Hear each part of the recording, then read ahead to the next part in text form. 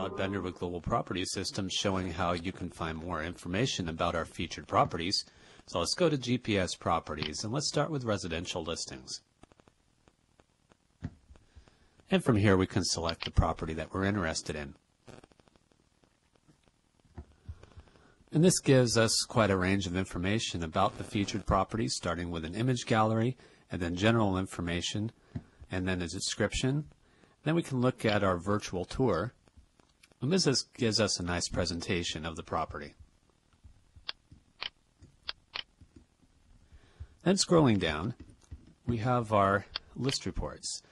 And this is a nice way of looking at information not only about the home, but about the area that it's located. Starting with information about the home, this gives us a general overview. And then explore the area gives us useful information about the area such as schools, convenient uh, services, outdoor activities, and restaurants.